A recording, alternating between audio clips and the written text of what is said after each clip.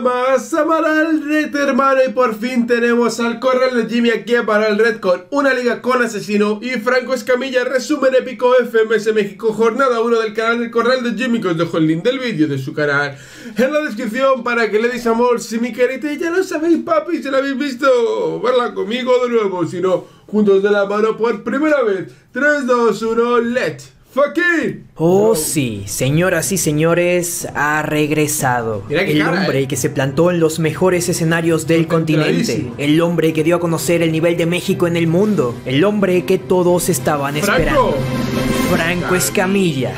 Ay, también regresó un tal ¿eh? asesino. Esta jornada está patrocinada por Pepsi y también por Oxxo al parecer porque por más que lo intentaron no dejó de salir en las tomas. Igual FMS puede darse el lujo de regalar publicidad porque en esta jornada traen el éxito asegurado. Tienen eh? al diablo y al demonio en la misma grada. El infierno está presente y ya que estamos aquí me da curiosidad saber qué es lo que dice asesino. ¿Acaso está... y debo decir que llevaba en 18 horas, creo, de emisión de directo, más de un millón de visitas. O sea, la FMS México por todo lo alto, papi, por todo lo alto. Improvisando con las palabras mientras batallaban Dante y RC. Esta batalla estuvo prendida a fuego, y no lo digo por el judío, lo digo por lo encendido que pusieron al público. Hasta Raptor tuvo que lanzar agua para evitar un incendio. Eso sí, tengo que decir que el daño colateral de este enfrentamiento fue excesivo. No les miento cuando digo que cayeron putazos para todos lados. Pero fíjate lo que se rumora de ti en las yecas.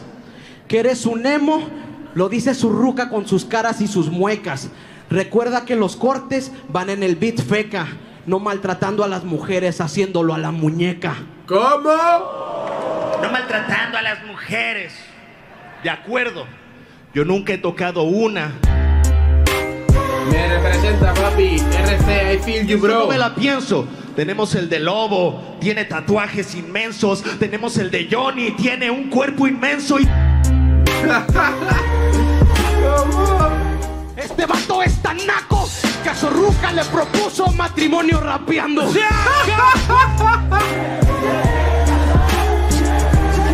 ¿Crees que el cerco está guapo? Nah, tal vez cuando era chamaco.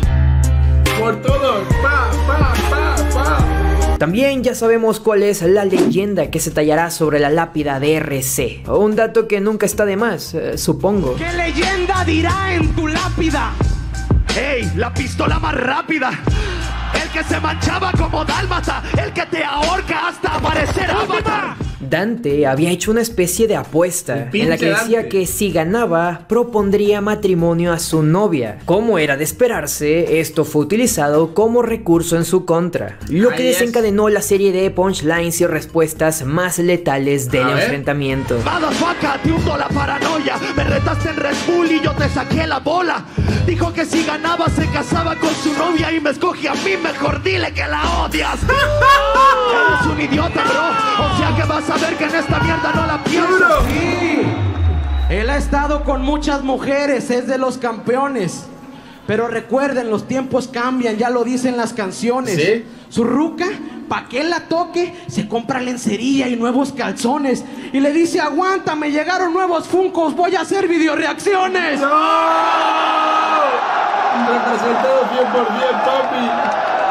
El ganador termina siendo RC, lo cual me parece correcto. Muy bien votado por los jueces. Y por cierto, no mencioné que tenemos nuevos integrantes. Un nuevo pollo del corral, la entrada épica de Bertier como presentador, DJ Rentería que se una DJ Sónico en los platos. Y por supuesto, tenemos a los nuevos jueces. Entre ellos, Potencia, que estará puntuando con cuatro todas las rimas que tengan que ver con madres muertas. Así que estoy bastante emocionado. Como ustedes ya saben, Y Potencia son amigos a muerte. y para muchos eso puede ser un factor poco transparente. Por suerte, Stigma es un hombre honrado y le pide de forma respetuosa y elegante que por favor vote en su contra. ¿Y es tu compa entonces va a votar por ti? No, seguro. Y culo sí sí. Es más, les voy a cerrar la boca. Te voy a partir tu puta madre si no me votas en mi contra. Stigma debe sentirse orgulloso. Hizo que Asesino le festejara su rima dos veces. Y no solo eso. Es la primera vez que veo que alguien consiga hacer que ponga esa cara de estreñido. es el primero en lograrlo. Es más, merece un logro desbloqueado. Oye, ¿te acuerdas de ese panfleto? Tú eres Dominic Toretto.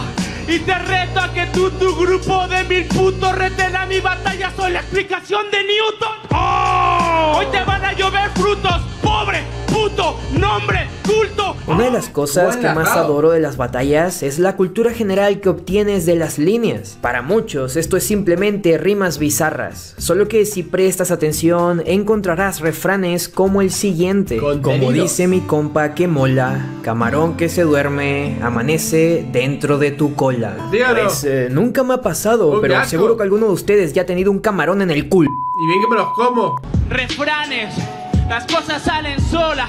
Estigma te me controla, como dice mi compa que mola. Camarón que se duerme, amanece dentro de tu cola. La primera te la regalo, pues quería cotorrear que camarón que duerme termina en tu cola? No sé, no decimos eso todas las personas, no lo entiendo. Bueno, Cerco Fu se la marcó deteniendo a RC para que no entrara antes de su turno, pero un fallo sí que tuvo relación con el modo kickback y se aprovechó la equivocación del minuto libre para empezar con esta cadena de preguntas y respuestas. Así que mejor vine para matar delante. Regresa kickback, ¿no? Kickback, ok, random mode, vamos con el kickback.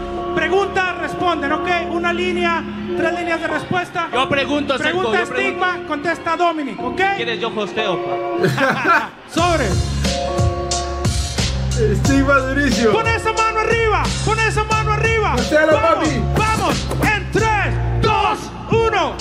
¿Por qué crees que se haya equivocado el cerco Fu?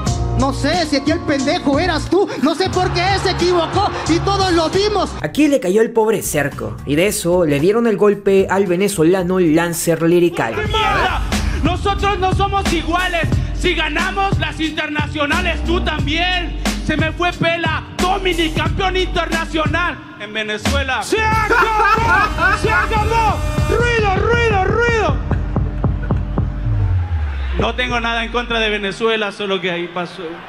Amigo, es una batalla ficticia. Tírale sin miedo. ¡Pinche joto! Tuvimos una versión de Stigma serio, firme y contundente. O sea, sigue haciendo sus mamadas, solo que ahora se nota que viene a competir. Estoy hablando de la motivación con la que improvisa, porque llega con el objetivo de crecer y superarse en la liga. Va a sonar muy mala onda, pero la temporada pasada, en algunas de las jornadas, se sentía que iba solo a valer madre. Lo curioso es que esto no solo le pasó a Stigma, y ahora se siente un hambre de victoria descontrolado en el circuito que no todos tenían. Me pregunto si esa motivación llega en parte por estar de nuevo en una liga con asesino. Independientemente de cuál sea el catalizador, me pone contento saber que le van a poner huevos. Soy dueño de un corral al fin y al cabo. Esa es la actitud que seguro marcará la diferencia. Amigos, muchas gracias por el recibimiento. Solo quiero decir algo, sé que no es mucho texto y que no les importa tal vez, pero una disculpa por mi desempeño de la temporada pasada. Eh, no andaba bien, pero este año quiero ganar todas las cosas, quiero echarle huevos. Esta victoria se la dedico a mi novia que está pasando un momento difícil, a mis padres y a toda la gente que está conmigo. Muchas gracias. Este año me voy a pasar de verga y chupo. Lo siguiente es algo que no me he podido sacar de la cabeza y necesito que lo escuchen. Si mal recuerdo, es judío y no tiene ni circuncisión ni bar mitzvah. Pero bien verga el judío celebrando Navidad. es que Ravder sabe que Joiker es un judío sin circuncisión?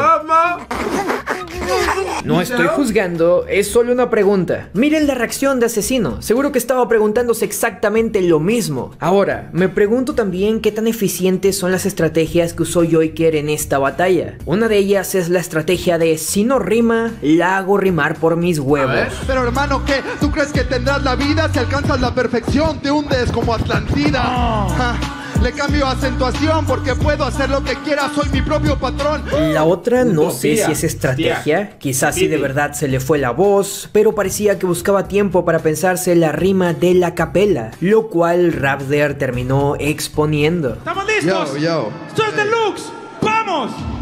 ¡Ey, ey! ¡Ey! Ah. Está yendo la voz, banda. ¡Ey! ¡Ay! Estaba buena. Un poquito, un poquito, no. ¿Ya pensaste o no? Al final, Joyker le pone la circuncisión en la cara a Raptor, pero desafortunadamente no fue suficiente para llevarse la victoria. Aún así, un honorable enfrentamiento por parte de ambos. Mucho respeto para ese par de monstruos. Pero si vamos a hablar de monstruos, tenemos que mencionar el garzasino contra asesino. Mentira. Si Urban Roosters me hizo tragarme casi 6 horas de directo para ver esta batalla, por lo menos haré que ustedes se traguen otros 6 minutos. Nah, igual me importa un carajo. Confío en que no van a cerrar el video y en que se van a quedar hasta el final. ¿10 minutos? ¿Verdad? No lo van a cerrar, ¿verdad? no les voy a mentir. Sudé un poco cuando vi que Asesino se trabó en el segundo patrón, pero por suerte a partir de aquí hizo una demostración impecable. Estaba un poco preocupado después de ver el bajón que tuvo Chuti dentro del formato y la verdad quedé sorprendido con la presentación de Asesino. Se nota demasiado lo duro que ha estado entrenando porque ni parece que no estuvo la temporada pasada. Agarró el formato como ningún otro en esta primera fecha. Garza empezó ganándole Lizzie Mode por esa trabada que y el hard mode estuvo peleado. Eso sí, Franco no aprueba la rima de la dama. Así es como se hace, nunca te convengo. Soy la pausa, con dos líneas te detengo. ¿Entiendes lo que digo? Como sueno perfecto. Este rapper corriente, todo le conecto. Hijo de perra, en esta ocasión te puse un alto. No te vas una infracción. Que yo lo mande para el demonio. No lo quieren ustedes, pero es obligatorio. Hago sonreír a esta dama porque me voy a venir en su cama. ¡Ojo! Hijo de perra, haré que reces, Anonymous te gana. Muchas personas por desconocimiento están desmeritando la siguiente rima con la, temática de famosos. Y lo que les falta es contexto. Contexto que les voy a disparar en este preciso instante. Porque da la sensación de que está rimando exactamente lo mismo. Y sí, lo está haciendo, está repitiendo la palabra, pero en cada repetición su significado es distinto. esto creo que se le conoce como... Bueno, es polisemia. Me ha metido así Jimmy un poquito gloc, gloc, gloc en la boca. Me ha dicho, no es polisemia, es antanaclasis. Venga, no me jodas, ¿por qué? Ah, bueno, vale, lo que hace el antanaclasis pero es que no se llama polisemia. Yo estoy perdido. Tanaclasis. El primer significado viene de lo que yo conozco como tirar el placazo. Es una seña que se hace con las manos para identificar al barrio que representas. E incluso puede relacionarse a tatuajes y grafitis. Ahora, el siguiente significado es este.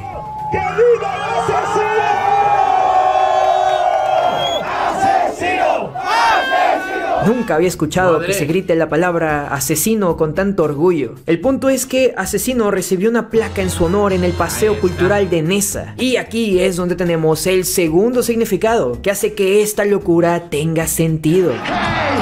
¿Cómo vengo aquí en la comparsa cuando Mau llega? ¿Sabes qué es la amenaza? A mí Nesa me respeta. ¿Quieres ver la placa de mi barrio? Hasta el gobierno me respeta. ¿Quieres ver la placa de mi barrio?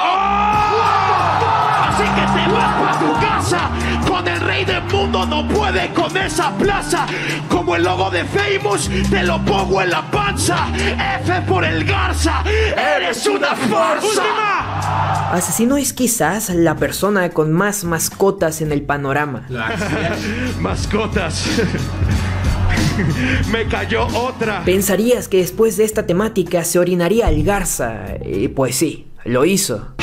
¡Marqué mi territorio ahorita! Solo que Garza no se dejó porque se defendió bastante bien. No sé en cuántos de sus países haya una jungla de timo, pero por si acaso, en Monterrey hay unas sucursales en donde se venden animales y accesorios para mascotas. Timo es ese chango de ahí. Y acá está sirviendo de doble sentido para Garza, refiriéndose al timo, o sea, al tongo. Te lo rimo como te radico del camino. Si no me votan contra asesino, esta va a ser la jungla del timo. ¡Se acabó! ¡Se acabó! ¡Ruido, ruido, ruido, ruido!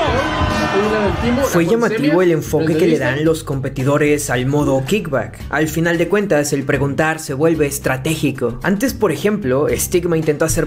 Pero debo decir que de asesino hay que merecer que quiso que se luciera. Garza. Preguntas para confundir a Dominic y que con esto pierda puntos, lo cual es válido. En otras jornadas vimos como algunos freestylers ni siquiera hacían preguntas, y algo muy genial de este enfrentamiento fue como tanto Asesino y Garza hicieron preguntas que dieran espectáculo, preguntas que permitieran sacar lo mejor del otro, y es por eso por lo que terminó siendo una ronda bastante memorable. ¿Qué quieres decirle a los que no te apoyaron? Que como tú me la pelaron. Mamaron. Todos esos versos sí se te clavaron. ¿No me das tu sudadera verde? No, hijo de puta, y de todas formas hoy pierdes. Así que soy una estrella. No te la doy porque tengo miedo que puedas hacer con ella. ¿Cuál es tu pan favorito? Me gusta mucho el negrito. Ay, pero cuando compito traje un paquetote, ahorita te lo invito. Mao. Los minutos, amigo. Estos minutos Durísimo. fueron una completa explosión. Lo digo en serio. Le ocasionaron una explosión mental a K-Road y hasta hicieron que Lancer se sacara la pelona. Y tú quieres llegar con rebeldía, que es la juventud, y me mata sangre fría, que yo estoy viejo, viejo el sol y todavía sale para brillar en lo alto todos los días. A menos que seas en China que hay uno artificial. Ahí ya te la liaron. ¡Sigue, sigue! Sigo, sigo. Acabo contigo, extraño. Ahora sí, como ensayaste en el baño. Ahora sí, aquí te acompaño. Todos saben que estuviste escribiendo esta batalla durante 10 años. ¡Última! Última. Y yo soy el que en la mente nada te almacena. Rápidamente pega fuerte y sí que te lo frena. Que me preparé 10 años, me dice esta nena. Me preparé 25 y sí valieron la pena. ¡Última! Ya se fue. Por eso demuestro que yo tengo gran nivel. ¡Ay, ay! Ya te estoy ganando esta batalla. Así que espero que la sudadera verde sí sea de mi talla. ¡Oh! ¡Ruido! ¡Ruido! ¡Ruido! Eso sí, aquí tuvimos el momento que sacado de contexto es el más triste de todo el ¿Cuál? 2022. Ganarle al Mao cada vez está más fácil. Eres menos mandilón, ya no traes Nancy. Ya no traigo Nancy, pero puedo conseguirme otra así de fácil. ¿Cómo? Pero esto es broma, ¿no? ¿Juraría que es broma o no es broma? Sacado fuera de contexto, así sigue con Nancy. Ahí está esa dama. Oye, Garza, ¿cómo decías que se llamaba? ¡Ajá! ¿Verdad, pendejo? Las reacciones de Cerco me parecen geniales. Grita la rima de asesino por inercia y luego hace como, mierda, a mí no me gusta esa categoría. Asesino cierra con una referencia a Loquillo y Franco Escamilla para continuar jugando con los nombres de todos los jueces. Eric el Niño tiene un disco llamado Bienvenido al Infierno y la referencia a la cerveza de Gino es porque literalmente el tequila le tiró un vaso de cerveza en la cara. Una por tirarme la gorra en la de los gallos, dos por hablar de mi hijo, tres por ser un fallo, cuatro por hacer esta noche que quiero fiesta, en el nombre de todos los serios. Así que ya quiero brillo. Siendo franco, si crees que me ganas, estás loquillo. Porque a la gente la prendo. Quiten el lodo de la alfombra. Bienvenido al incendio. Así que para. Que si vienes con el Gino, te aviento cervezas en la cara. Así que mira con conciencia, te dejo en KO. No tienes potencia. Y llegamos a la capela, la ronda en la que cae otra barbaridad, la barra que detuvo la batalla, la rima que hizo gritar al mismísimo diablo. Yo sé que para ti enfrentarte a mí ya es una victoria. Correcto. Porque invirtió mucho dinero para llegar a esta liga en su trayectoria. Correcto. Por eso, esto no lo veas como tu batalla y tu momento de gloria. Esto más bien es el meet and greet más caro de la historia. Cierto, cierto, cierto. El papel de Garza fue impresionante. Quizás sea quien más cerca ha estado de vencerlo en la FMS Joder, México. Y aunque seguro. para serles honesto, pienso que sí hay una clara diferencia que posiciona a Asesino como ganador sin réplica. Lo que es un hecho es que Garza se la puso difícil y lo hizo sudar. La neta sí me sudó, pinche Garcita, esa rifó, la neta. Denle un aplauso bien cabrón. Quien también sudó fue Lancer cuando recibió el audio de Johnny allá por el 2019. Estos dos estaban destinados a enfrentarse desde ese entonces, en donde prácticamente se mentaron madres por mensaje de voz. Le tiras a Lancer cuando no está y eso que es tu amigo, eso se llama hipocresía. Esperen, esperen.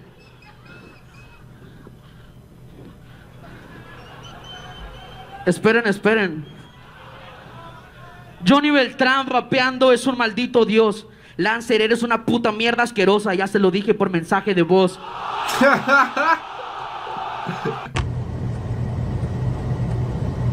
Johnny Beltrán rapeando es un maldito dios.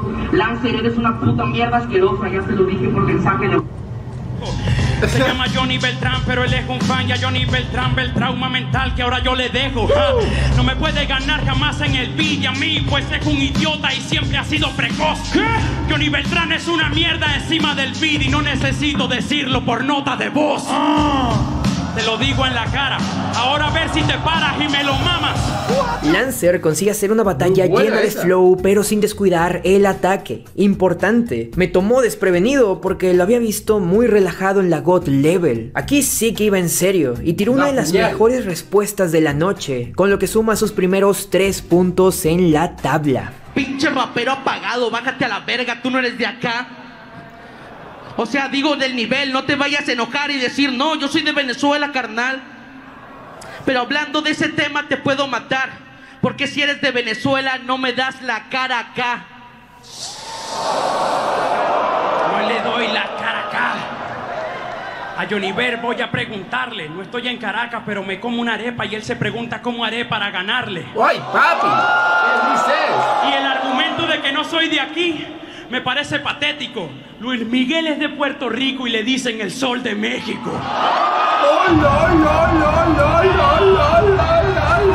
Espera no puede más, chico.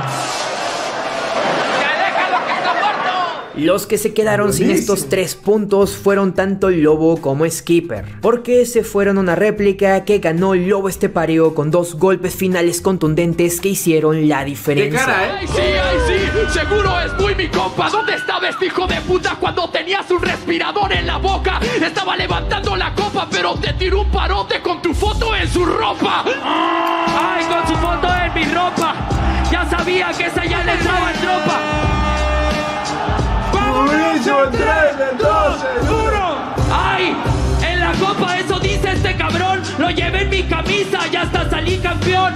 Tú dejaste al pyme, maldito sicón. Y en lugar de ayudarlo, lo dejaste en depresión. Y Benny es mi amigo, pinche vato desgraciado. Por mí que se muera de hambre y que lo dejen bien mandado. Claro que sí, desgraciado. Lo utilizó como recurso dando lástima al jurado. Skipper suma un punto que ¡Madre! es mejor que nada y el lobo empieza con un par de puntos esta nueva temporada. Una batalla muy épica. Muy duro, Mi eh. parte favorita fue la de comer pito. Lo cual sonó bastante mal. Jimmy, si a ti te gusta, mal. yo lo. Prometo que tendrá sentido porque me estoy refiriendo a esto. Tu medalla de oro la ganaste. Claro que sí. ¿No te acuerdas que te chingaste? La gané en la Red Bull. Me la entregaste y creo que perdiste. tú. Última. Última. ¿Cómo? Pito y plomo.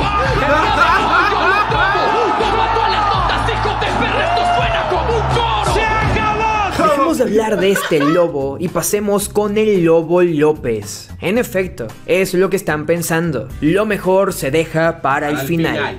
Hay quienes dejamos el juego, dice aquí mi compañero.